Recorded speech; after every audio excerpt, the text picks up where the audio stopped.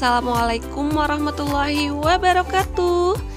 Di video kali ini Bunda mau buat kue lebaran khas Sumatera Yaitu kue dodol agar pandan. Ini rasanya mantap banget dan mudah banget loh cara buatnya. Penasaran gimana cara buatnya? Tonton terus ya video aku sampai dengan selesai Dan jangan di skip-skip tapi sebelumnya jangan lupa tekan tanda subscribe dan tanda loncengnya ya. Bahan-bahan yang diperlukan.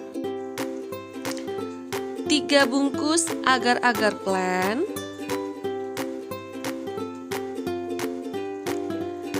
Satu kaleng susu kental manis.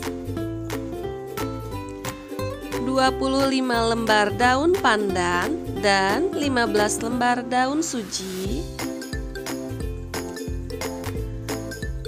100 ml air untuk blender daun suji dan daun pandan ya.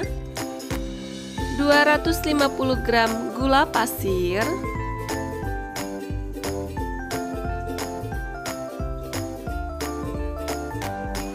8 gelas santan dari dua butir kelapa ya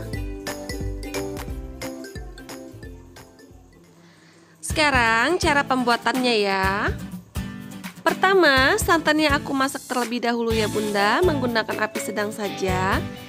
Di sini aku masak santannya sampai benar-benar mengeluarkan minyak ya bunda Atau aku buat gelondo. Dan di sini aku masaknya sampai takarannya 6 gelas saja ya bunda. Atau setara dengan 1200 ml ya bun. Jika sudah benar-benar matang Atau dikira-kira saja ya Kemudian aku ukur menggunakan gelas ukur sampai dengan 1200 ml ya Atau setara dengan 6 gelas. Jika sudah mendidih santannya, aduk-aduknya sesekali saja ya bunda, tidak harus diaduk terus. Kemudian jika sudah kira-kira sudah 6 gelas, kita lihat, kita matikan apinya ya. Kemudian di sini akan aku ukur menggunakan gelas ukur ya sampai dengan 1200 ml.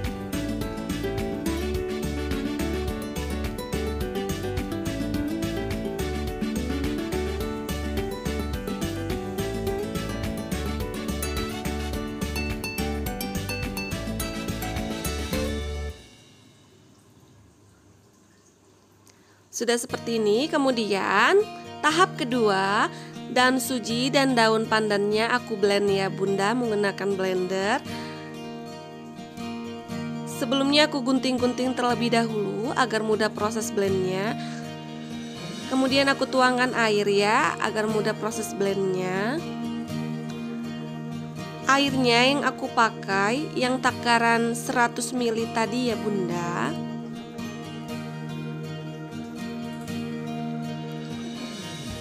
Lakukan proses blendnya sampai dengan selesai ya bunda.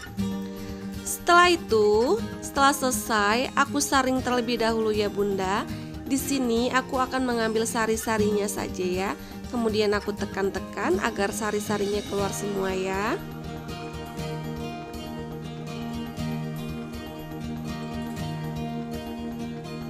Setelah itu, santan yang tadi sudah aku masak Aku masukkan gula pasir ya, kemudian aduk-aduk. Posisi api mati ya bunda, kemudian air pandan dan air suji ya. Kemudian aku masukkan agar-agar plannya. Aduk-aduk terus sampai merata ya bunda, agar tidak ada gerindilan di dalam adonannya ya.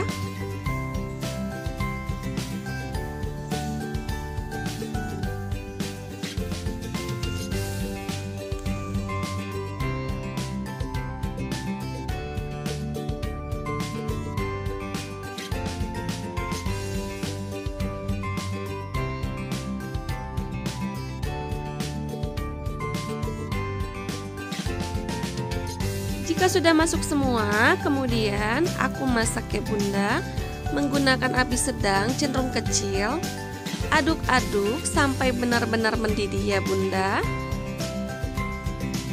Oh iya, Untuk resep yang lebih jelas atau lebih lengkap, aku tulis di kotak deskripsi ya Bunda. Bunda tinggal cek di bawah judul.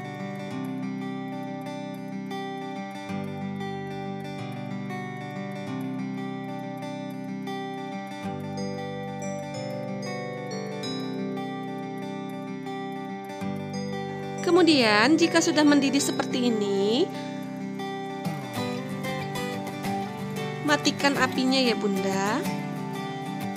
Aduk-aduk saja.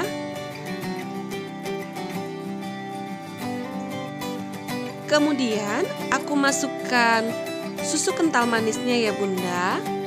Untuk memasukkan susu kental manisnya Posisi api sudah mati ya bunda.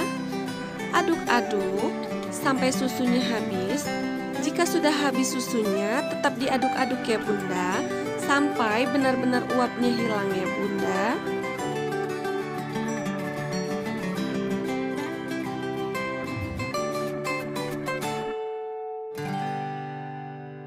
Di sini aku mengaduknya sampai benar-benar uap panasnya hilang. Fungsinya agar warnanya tidak pisah ya Bunda. Santan dan agar-agarnya pisah.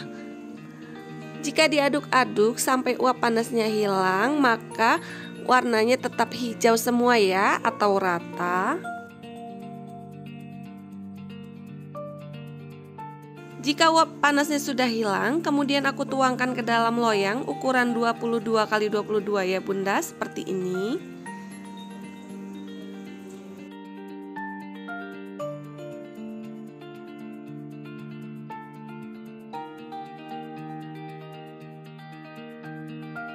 Jika sudah masuk semua, kemudian aku dinginkan sampai benar-benar dingin dan mengeras ya. Jika sudah mengeras atau dingin, di sini aku akan lepaskan atau aku keluarkan dari loyang ya. Sebelumnya aku sisir-sisir terlebih dahulu pinggir-pinggirannya ya Bunda agar mudah proses pengeluarannya. Kemudian aku keluarkan ya seperti ini.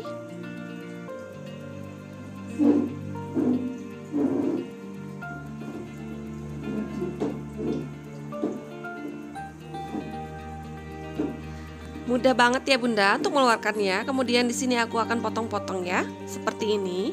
Untuk pemotongannya sesuaikan selera Bunda di rumah saja ya.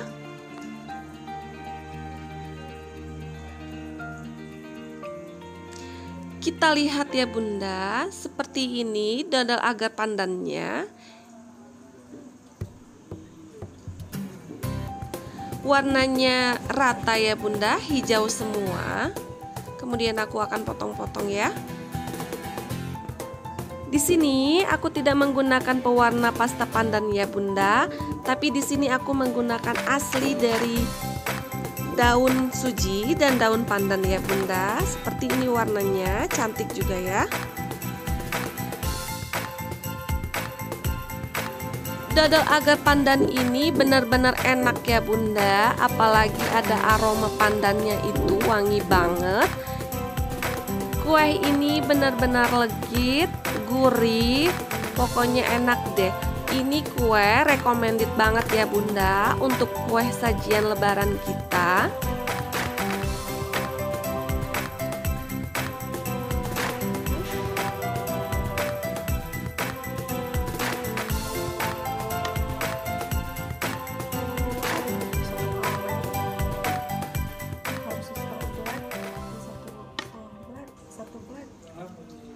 Ini dia bunda hasilnya. Siap untuk dihidangkan ya bunda.